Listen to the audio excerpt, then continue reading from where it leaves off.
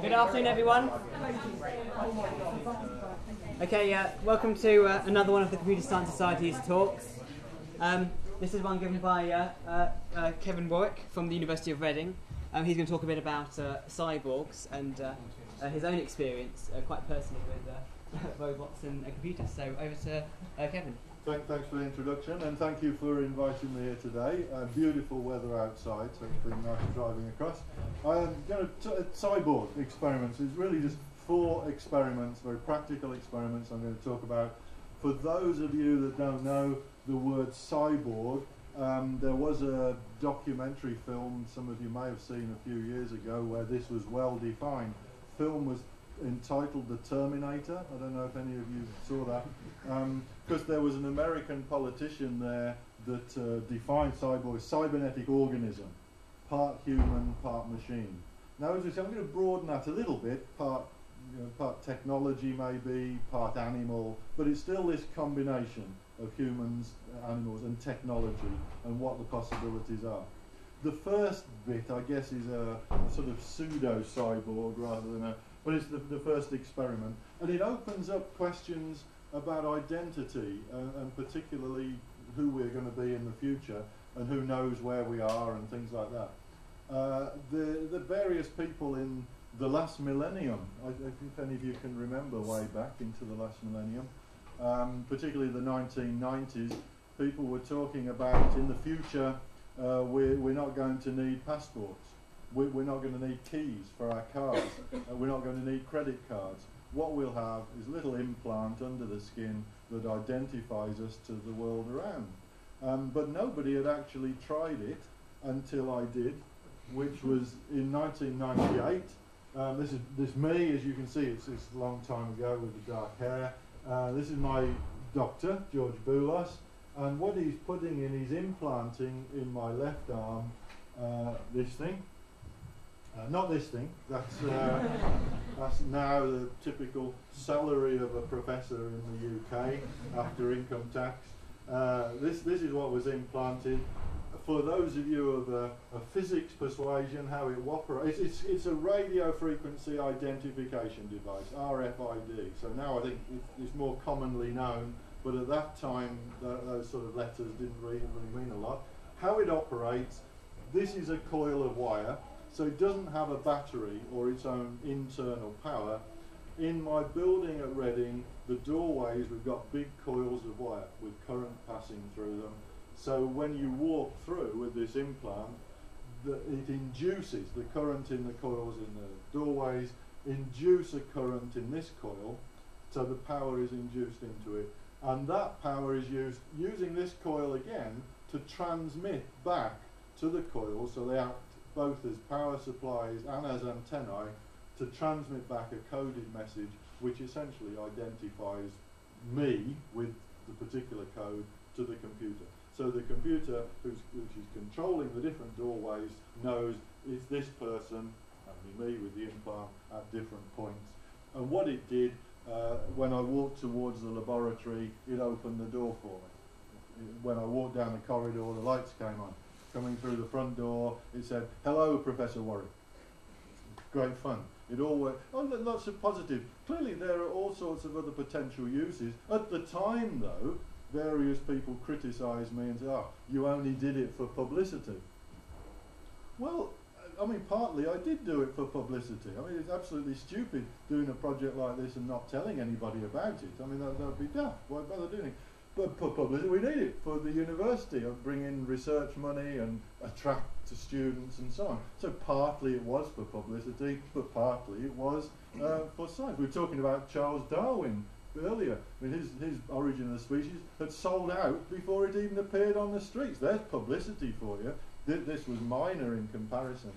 Uh, however, since then, since that time, uh, there's various uses of this technology.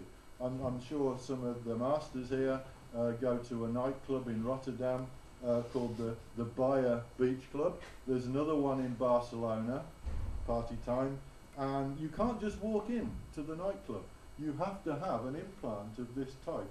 Uh, smaller, it's, it's almost like a fashion item. you, you can just go around the corner, you can get this actually implanted, and then you get access to particular parts of the nightclub. Uh, But you don't need to pay for your drinks. It's automatically charged by a, a scanning method. This is serious. You, you have to have this implant. It's a passion thing to get in.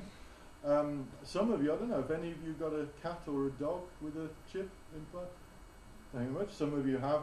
I, I think you can rest assured it was fully tested on humans before your animal was uh, given it. So it's, got, it's okay.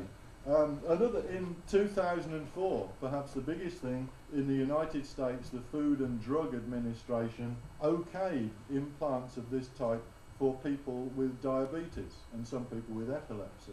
So when the so there are now several thousand people in the United States have a very small implant like this, and when they go into hospital, the hospital authorities know what medication to give them. For some reason, in this country, we have a few issues with that, but it, it actually can be reprogrammed. So when somebody has some medication, they can actually be programmed down that that's what they've been given. So next time they go in, it, it's updated. It's like a medical record that you carry around inside your body so it can't be corrupted or, or pinched or downloaded by somebody else. So there's uses of it. Clearly, there are other potential uses. If you take this, this is an RFID. It works. This one over one meter very well. Pick up two meters, but it's not like a GPS system. You know, if you had an implant like this, you can't be tracked wherever you go. Um, in terms of GPS, which is where we're heading, potential implants of this size, they're not yet, as far as I'm aware, commercially available. You can have a GPS system implanted, but clearly, clearly we're not far away from that. And then you get all the issues, as you have with your cell phone, of tracking and monitoring, this time tracking and monitoring people, uh, maybe children. Sometimes elderly people, maybe with dementia, there are possible reasons for the person, so you know where they are. They're not going to uh, go somewhere you don't. But but for children, there are some parents that would like to know their child is safe, that the child is not get up, get abducted or whatever it is. And there are then all sorts of issues. Is it a good thing for a child to have an implant like this, or is it a bad thing? Experiment number two. This is something I'm very much involved with at the present time. Uh, called it Growing Brains. Mostly when you think of a robot, perhaps you think of something that either a human is controlling, a remote control wheelbarrow type robot that uh, gets rid of bombs and things like that, bomb disposal, uh, or it's a, a robot that is controlled by computer. well, we're going to look at something different here. First of all, I want to introduce some of our robots uh, to you. Um, you're going to see a clip now. The first robot is a, a robot head, and what we're doing with that, it has five senses, and we're trying to integrate the sensory information. Uh, the second, the little wheeled robots are the ones that I'm going to talk about a little more. This is taken from a, a BBC program called Inventions That Change the World.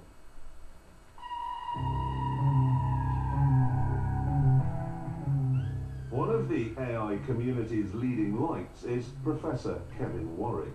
Well, this is a robot head. Dissatisfied with vacuum cleaners and robot dogs, Kevin's gone one stage further. His cyborg comes complete with radar in its nose and an infrared top lip. Is it intelligent? Well, in a very limited way, I guess it is. It is it's sort of a basic instinct. What do I do with this information that I'm getting? How do I move? Uh, how do I operate if this signal is different? So what's it doing now? Well, if you clap your hands, Oi, over here. Oh, it did it. it's making basic decisions. All we've got it, all we've got it doing here is programmed to make basic decisions based on that sensory information that's coming in. Getting the information in is nothing. That's like picking up a book. That's not an intelligent thing to do. Reading the book and knowing what the words mean, that's surely the intelligence. many machines can read books nowadays, but it maybe it means something different electronically to the machine as it would mean